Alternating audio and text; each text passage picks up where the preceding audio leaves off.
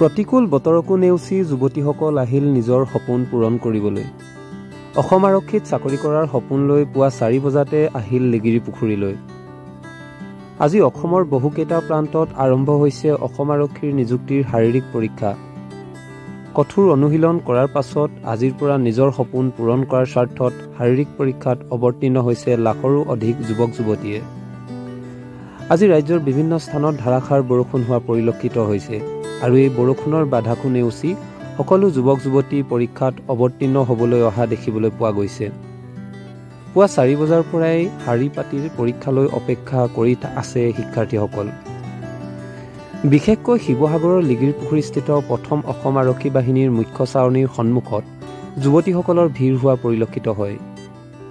দুচকুত হাজাৰ সপোন লৈ বছৰ বছৰ ধৰি কঠোৰ অনুশীলন কৰি অসম আৰক্ষীৰ নিযুক্তিৰ শাৰীৰিক পৰীক্ষাত অৱতীৰ্ণ হ'বলৈ আহিল যুৱক যুৱতীসকল। আজিৰ পৰা আৰম্ভ হোৱা শাৰীৰিক পৰীক্ষা প্ৰথমতে যুৱতীসকলৰ পৰা আৰম্ভ কৰা হৈছে য'ত শিৱসাগৰ জিলাকে ধৰি চৰাইদেউ জিলাৰ বিভিন্ন স্থানৰ পৰা যুৱতীসকল লিগিৰ পুখুৰীস্থিত অসম আৰক্ষী বাহিনীৰ মুখ্য সেনা চাউনীলৈ আহে।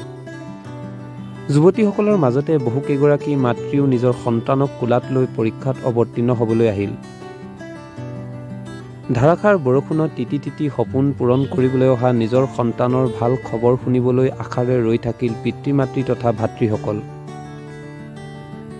নিজৰ সপোন পূৰণ কৰিবৰ বাবে বৰ্তমান সময়ত প্ৰতিগৰাকী যুৱক যুৱতীয়ে যে দায়বদ্ধ তথা কোনো বাধালৈ ভয় নকৰে এই কথাই আজি তেওঁলোকে প্ৰমাণ কৰি দেখুৱালে।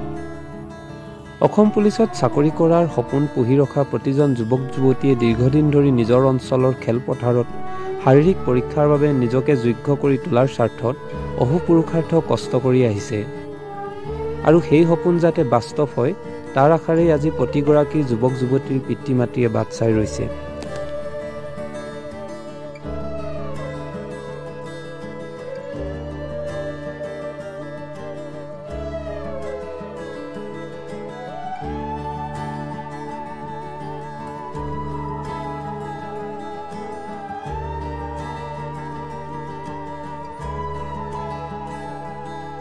পোনপ্ৰথমে মই অসম চৰকাৰক ধন্যবাদ জ্ঞাপন কৰিছোঁ। যিহেতু নিযুক্তি প্ৰক্ৰিয়া আৰম্ভ কৰি তেওঁলোকে যি অসমৰ যি নিবনুৱা আছে সেই নিবনুৱাসকলক এটা সংস্থাপনৰ যি ব্যৱস্থা কৰিছে। মই তাৰ বাবে মই হেমন্ত বিশ্ব শৰ্মা চৰকাৰক প্ৰথমে ধন্যবাদ জ্ঞাপন কৰিছোঁ।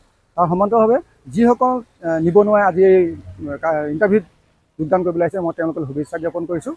আৰু ৰাতিপুৱা চাৰি বজাৰ পৰা ভিৰ হোৱা পৰিলক্ষিত হৈছে কাৰণ আজি ছোৱালী ইণ্টাৰভিউ আছে প্ৰায় আঠ ন দিনমান ছোৱালী ইণ্টাৰভিউ হ'ব। তাৰ পাছতেই ল'ৰা ইণ্টাৰভিউ হ'ব। গতিকে পুৱাই দেখিছোঁ যে কিছুমান মানে মহিলা আহিছে যাৰ মানে ল'ৰা ছোৱালী লৈ পেলাই তেওঁলোকে মনত অলপ সপোন লৈ পেলাই আজি ইয়াত আহিছে যে এটা নিযুক্তি হওক এটা স্বচ্ছ নিকা প্ৰক্ৰিয়া নিযুক্তিটো হওক আৰু নিজৰ যে পৰিয়ালটো তেওঁলোকে পোহপাল দিব পাৰে গতিকে চৰকাৰলৈ অনুৰোধ জনাইছোঁ যি স্বচ্ছ কথা কৈ থাকে তেওঁলোকে স্বচ্ছ নিকাৰ কথা কৈ থাকে এই স্বচ্ছ নিকাটো যেন তেওঁলোকে বজাই ৰাখি পেলাই এই নিযুক্তি প্ৰক্ৰিয়া শুদ্ধভাৱে কৰি এজন শুদ্ধ প্ৰাৰ্থী নিৰ্বাচন কৰি তেওঁলোকক উপযুক্ত হিচাপে বিবেচনা কৰি এটা নিযুক্তি প্ৰক্ৰিয়া তেওঁলোকে দিয়ে।